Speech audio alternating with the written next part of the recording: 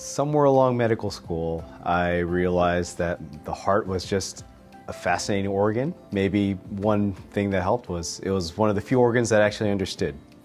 But eventually, uh, as I got to learn more and more, part of its appeal was that there was a, a rhythmicity to it. I like music a lot, and uh, the heart is a very musical organ. It has a rhythm, has a beat, and I think that was part of its appeal for me.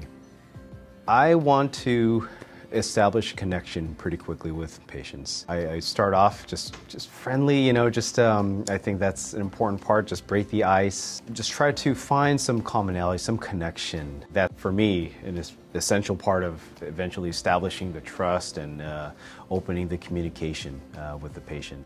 But I do try to keep things in perspective and keep an eye on the big picture. I, I deal with electrical disorders of the heart, which is not intuitive at all. it's not straightforward. So um, my favorite tool is um, I have a piece of paper with a diagram already drawn on it with the four chambers of the heart, uh, some of the common arrhythmias on one side of that.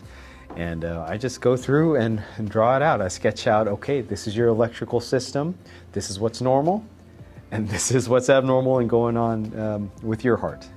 Electrophysiology, there's a lot of constant innovation, research, technology, meeting the patients where they're at, uh, whatever and however serious their heart condition is, trying to trying to improve, improve them, help them live live life to the fullest as they can.